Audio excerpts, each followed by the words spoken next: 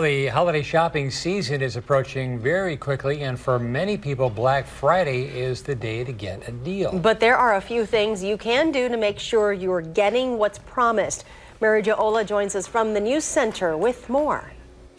Charlotte and Rob, in two weeks, retailers will be crowded with people ready to spend their money on one of the biggest shopping days of the year. But nailing down those deals can be tough if you're not ready.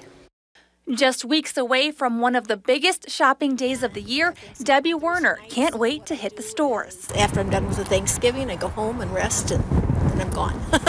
Werner scores big at Tanger Outlets. She hasn't had trouble getting the deals she set out for, but that isn't the case for other Black Friday shoppers. Frequently, there are limitations on the number of items available. Sandy Chalmers is the administrator with the Division of Trade and Consumer Protection. She says it's important to plan ahead for your Black Friday trip. Something that happens commonly on Black Friday is that they have special deals during certain times of the day, so prices may be changing throughout the store, throughout the day. So to ensure you snag the deal you were so eager to get, it'll take more than getting to the store early.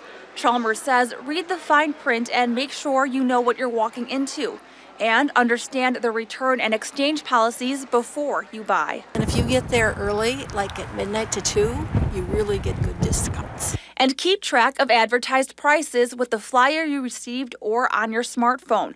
When you check out, keep an eye on the register to make sure the numbers match up.